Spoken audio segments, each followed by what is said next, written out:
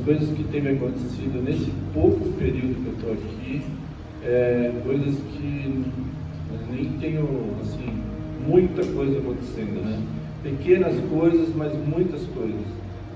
Eu fui sair da prefeitura numa. Eu era para ser promovido e fui mandado embora em julho, junho, né?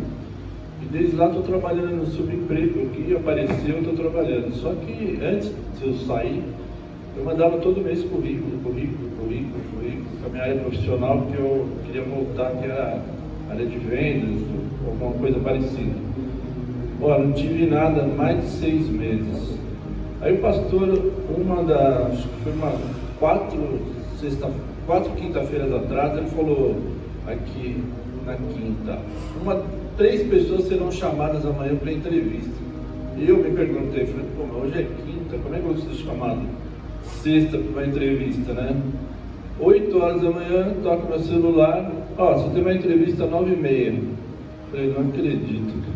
Sabe assim, falei, pô, o negócio é forte mesmo, né? É, a gente tem que passar pelas coisas para acreditar, né? Eu, eu, vejo assim, né? E aí me arrumei rápido, que era lá no Tatuapé e tal, fui, cheguei lá, tinha mais de 20 pessoas fazendo entrevistas e tal. Aí você, vai lá na frente, fala todo o seu currículo e tal, que você é tal. Lá, lá. Depois tem um teste, eu fiquei aguardando, né? Aí eu vi que o cara já não foi muito com a minha cara, assim, de cara, né? Assim, falei, bom. Aí eu falei, bom, eu fiquei de olho no cara. Ele entrou, ele nem leu o meu teste.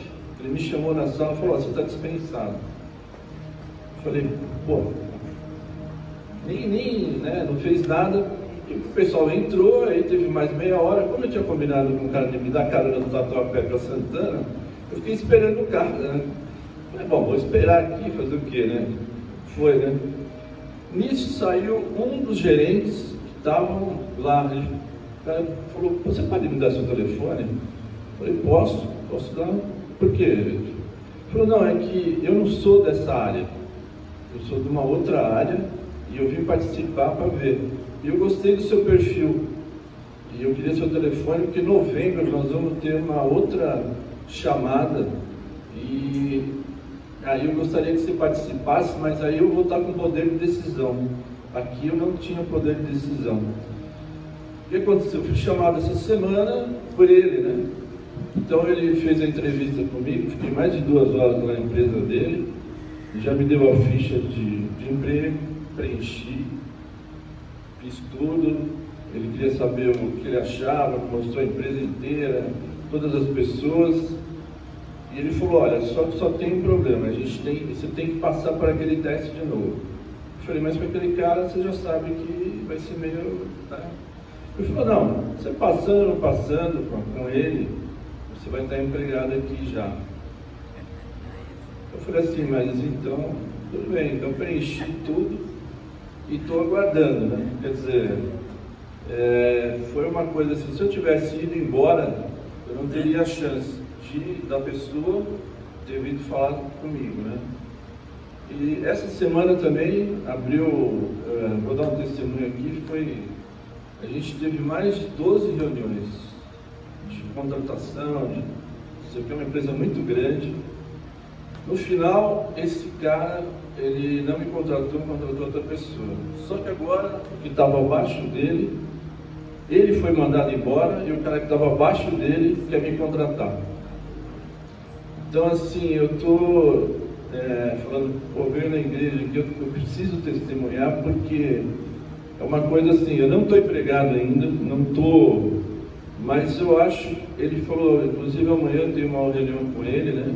Eu vou levar ele no cliente, uma empresa de segurança, muito grande o cliente. Ele falou, ó, tentei entrar lá de todas as formas, não consegui, mas você ligou lá, você já entrou. Eu falei, não, eu conheço a pessoa, né? Ele falou, não, vamos lá, vou fazer de tudo para você vir trabalhar aqui. Então assim, eu, eu mesmo, às vezes eu estou um pouco assustado, né, de falar, pô, será que chegou a minha vez e está todo mundo... E agradecer muito aqui, Antônio Carlos, a todos aqui, porque eu, várias vezes que eu vim aqui, caí da cadeira, caí no chão, entendeu? Então, eu acho que isso aí abriu minhas É normal aqui, é normal. Não, então, mas eu, né, falei pro Antônio Carlos, falei, pô, o pessoal vai vir, eu vou ficar com medo. Pra pô, o carro vai cair outra vez, né? Então, eu, eu falo assim, eu nunca perdi a fé, nunca perdi, e eu quero um cargo que eu pretendo, e amanhã pode ser que a pessoa me ligue, né? Então, assim, as portas parece que começaram a se abrir, eu não tenho nada. É, eu só trabalho numa, numa empresa do amigo meu que eu ajudo ele, é um subemprego, vamos dizer, né? Mas não estou parado, né? Graças a Deus.